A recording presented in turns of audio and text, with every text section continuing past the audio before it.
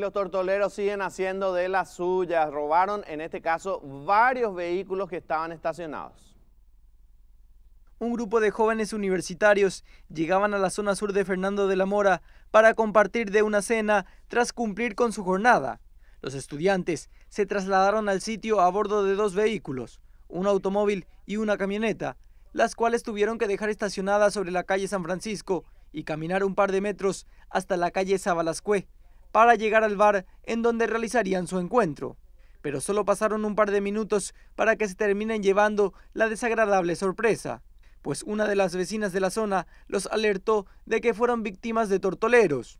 Los delincuentes llegaron a bordo de otro automóvil y tras romper las ventanillas de los vehículos se llevaron todos los objetos de valor que se encontraban en su interior, teléfonos, carteras, dinero en efectivo, mochilas y algunos documentos. Lastimosamente queríamos, quisimos compartir una noche de amigos cenando tranquilamente y fuimos víctimas de, este suceso. ¿Tuvieron que dejar los vehículos estacionados en la calle empedrada porque ya no había lugar acá? Así mismo, cuando, cuando nos acercamos al lugar nos dimos cuenta de que lastimosamente había mucha gente y los únicos lugares posibles estaban, eran esos dos lugares donde, donde dejamos nuestros vehículos. ¿En la calle empedrada? En el empedrado, así mismo. Y a completa oscura como podrás observar. Después, ¿cómo fue todo? ¿De cuántos minutos estamos hablando?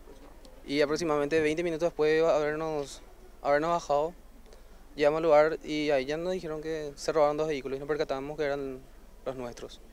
A grandes rasgos se llevaron eh, pertenencia de, de, trabajo, más que nada dinero en efectivo y objetos personales de valor, celulares, cargadores y todo eso.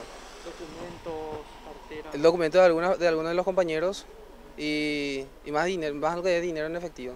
¿De tu pertenencia? Mía y la de mis compañeros también. ¿Aproximadamente cuánto estamos hablando?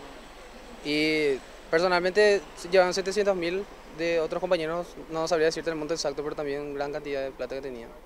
¿Estaban saliendo de la facultad? Sí, nosotros somos compañeros de la facultad y vinimos a cenar después, después justamente de salir de ahí. Las víctimas realizaron su denuncia ante la comisaría segunda de Fernando de la